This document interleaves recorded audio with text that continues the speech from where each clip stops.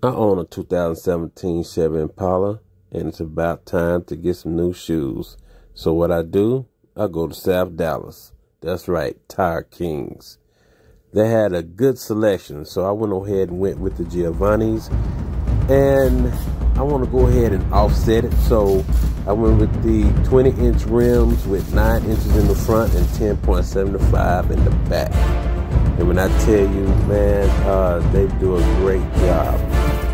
Very professional, man. They was cool, and man, I felt I felt like I was at home. So uh, let's see how this turned out.